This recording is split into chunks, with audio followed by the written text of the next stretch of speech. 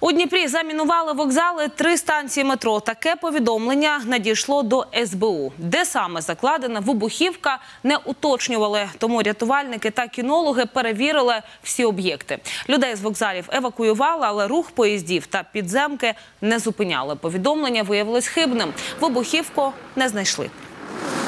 Наразі вирішується питання щодо правової кваліфікації цього повідомлення е, та внесення відомостей до єдиного реєстру досудових розслідувань. Відповідальність за вказаний злочин передбачає позбавлення волі від 3 до 6 років.